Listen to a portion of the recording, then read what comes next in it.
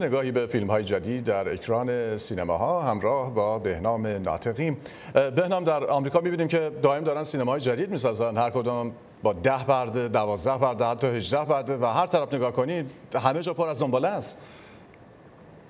دنباله. زیادی خرج تبلیغات سراسری میشه. کسرت سینماهای نمایش دهنده کمک می‌کنه به بالا رفتن درآمد این روزهای اول اکران. که اون تبلیغات جواب بده امید اصلی پخش کننده ها بازاریابی برای دنباله ها به خاطر آشنایی قبلی تماشاگر تا حدودی آسونتر هست ولی دنباله های جدید در اکران سراسری به تدریج دارن کمتر از فیلم های قبلی فروش می‌کنن. همین امسال سال میلادی تا الان 20 تا فیلم دنباله داشتیم که فقط دو تاش فروش بهتری از فیلم های قبلی داشتن. دو دنباله جدیدم این هفته اکران میشن در اکران سراسری و وضع بهتری رو ندارن. نخستین نمایش بر پرده آیمکس در فضای باز در پارک دریایی ایمبارکادرو محل برگزاری نمایشگاه و کنفرانس کتاب مصور کامیک کان در سن همزمان شده با پنجاهمین سالگرد Star Trek از قدیمی ترین سریال های تلویزیونی علمی تخیلی. آغاز اکران Star Trek Beyond چهارشنبه شب پیش آغاز اکران Star Trek Beyond. سومین فیلم از دوره جدید مجموعه سینمایی Star Trek ستارگان فیلم رو در پایان تور جهانی به کامیک کان آورده بود. It's easy to get lost in the vastness of space. در فیلم Star Trek Beyond سفینه فضایی انترپرایز مورد هجوم زنبوروار سربازهای یک راهزن خونخوار فضایی با بازی ادریس البا قرار می گیرد و در آسمان یک سیاره سنگلاخ در هم می شکند. کریس پاین بازیگر نقش Captain کرک جوان اینجا در کنار زکری کوئینتو بازیگر نقش اسپاک جوان و همچنین ستاره زیبا زوی سالدانا بازیگر نقش اوهورا مسئول مخابرات انترپرایز در جمع خبرنگارها. خانم سالدانا از شلوغی کار شاکی است ولی می‌گوید مراسم افتتاح برای فیلمی که بازی در آن را میپسندد همیشه حس خوبی دارد.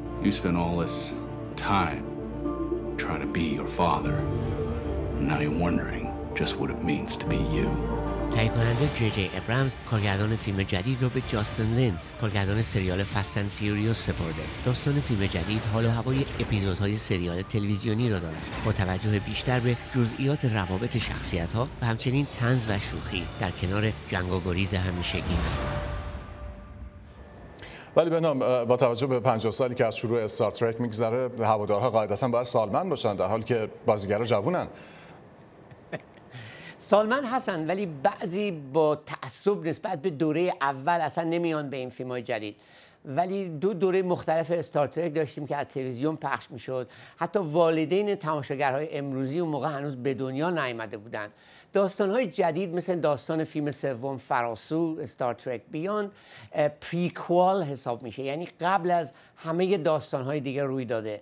تدبیر جی جی ابرامز برای جوون کردن استار ترک این بود که برگرده به عقب. مثلا سالهای آغازین کار کپتن کک و همکارانش در سفینه انترپرایز رو نشون بده. و سوال اینه بهنام که آیا تونسته تماشاگرهای جدید و وفادار پیدا کنه؟ خب در وفاداری تماشاگرهای جدید تردید هست. فیلم دوم دوره جدید یعنی Into the Darkness در بازار آمریکا 29 میلیون دلار کمتر از فیلم اول فروش کرد. علیرغم هزینه 190 میلیون دلاری با اون تبلیغات سنگینی که براش شده بود.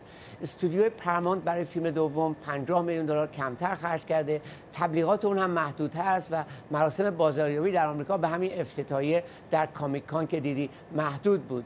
طی سه روز آینده خود استودیو رقم نسبتا بدبینانه 52 تا 56 میلیون دلار پیش بینی کرده. در 3928 سینما نزدیک به 4000 سالن که 20 میلیون دلار از فیلم دوم پایینتر هست. اما این فیلم با استقبال بسیار خوبی از سوی منتقدها روبرو شده که ممکنه در فرستادن تماشاگر به سینماها تاثیر بذاره. کارشناسان بازار احتمال میدن فروش در آخرین هفته به 65 میلیون دلار حتی نزدیک بشه. در حال چون رقیب پرفروش دیگه ای نیست در مقام اول جدول این هفته قرار می‌گیره.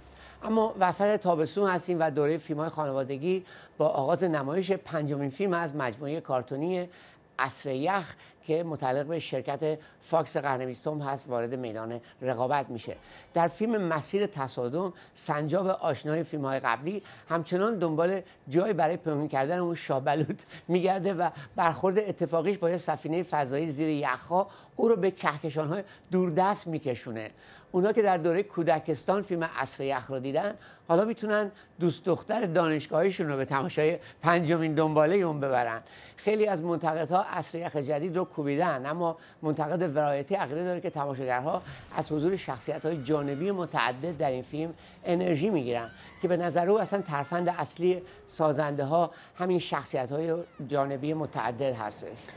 ولی بنام الان هر سینما سه یا چهار تا فیلم کارتونی خانوادگی داره. اینطوری بازار همدیگه رو که ساد نمی‌کنن؟ خب همین هفته پیش فروش فیلم یافتن دوری واحد پیکسار شرکت دیزنی ظرف کمتر از یه ماه اکران به مرز نیم میلیارد دلار رسید. کارشناسا عقیدن که بازار برای جذب فیلم های کارتونی خانوادگی اشتهای زیادی داره. عصر یخ پنجم هم برای مقام دوم جدول رقابت است با فیلم زندگی مخفی حیوانات خانگی. مبنای این فیلم چیزی شبیه داستان اسباب بازی پیکسار هست. در مورد زندگی اسباب بازی ها در غیاب صاحباشون. حالا اینجا به جای اسباب بازی ها سگ و گربه و حیوانات دیگه منزل رو داریم. فیلم حیوانات خانگی محصولی از واحد انیمیشن شرکت یونیورسال هست. در دو هفته ای که صدرنشین جدول بود بالای 225 میلیون دلار فروش کرده و میره که مثل زوتوپیا فیلم شرکت دیزنی از 300 میلیون دلار هم بیشتر بفروشه.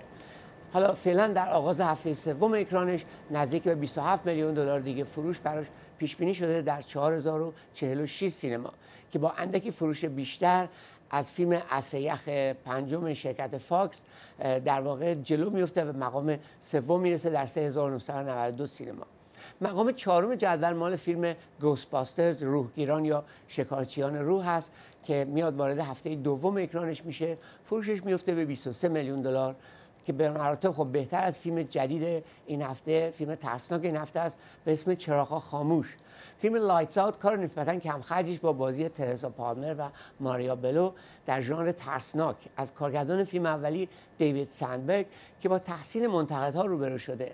علیرغم جنبه های تقلیدی که تو سناریو هست. داستان نبرد دختر جوانی است با یک حیولای خوناشام ماورا طبیعه پنهان در تاریکی خانه پدری که ضمن نجات برادر خودسالش به رازهایی در مورد گذشته خانوادهش پی می‌بره.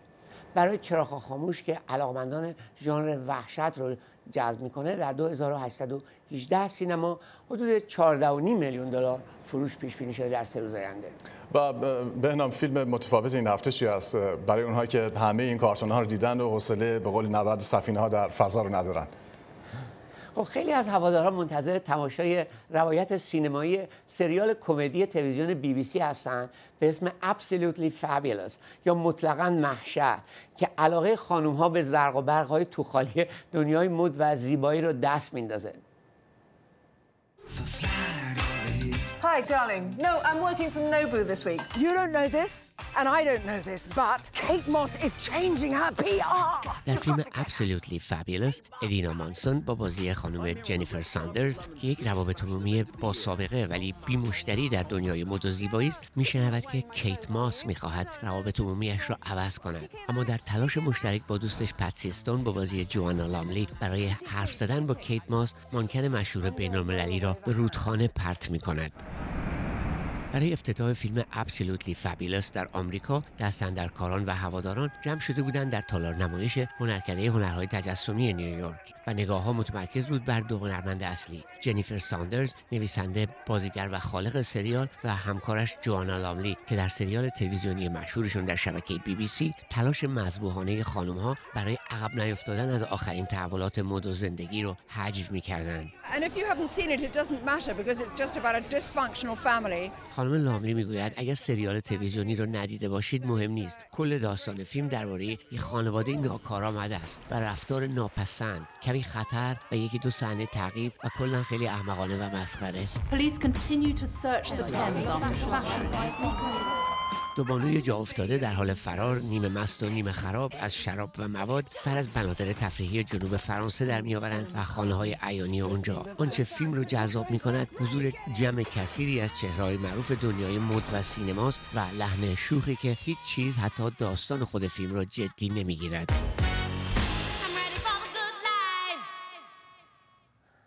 خب این فیلم و شرکت فاکس سرچاش پخش می‌کنه از این جمعه در 313 سینما و ظاهرا باید برای دیدنش در جاهای دیگه منتظر باشیم بیاد به تلویزیون کابلی و نمایش آن دیمند.